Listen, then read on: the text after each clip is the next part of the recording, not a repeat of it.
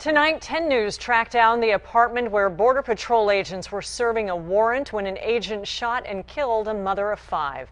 10 News reporter Itica Milanes is in Chula Vista with how often neighbors say Munique Tachiquin was at that apartment.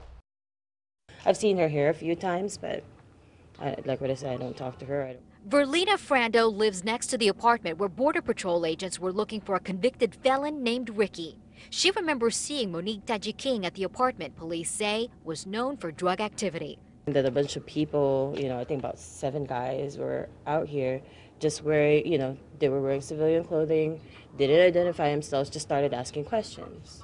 They were asking questions uh, like, are you in parole? Was Munique or anybody else in there doing drugs that day? No. This man doesn't want to show his face for fear of retaliation, but he says he saw the whole thing go down from beginning to the deadly end. They tried to get in the house. He says Munique slipped by them and tried to get away. And he's telling her, ma'am, please stop, please stop. I need to talk to you, ma'am. I need to talk to you. Well, she kept going. The agent followed her to her car parked right here. And he's all telling her, get out of the car, ma'am, get out of the car, ma'am.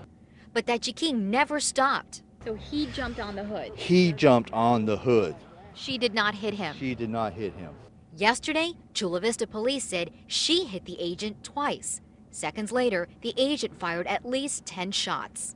Breaks my heart. I seen her. She looked at me before she died. She looked me in the eyes before she died. In Chula Vista, Itica Milanes, 10 News. Yesterday, Chula Vista police said Tachiquin was on probation for a drug related arrest. They say that may have been why she tried to get away from agents.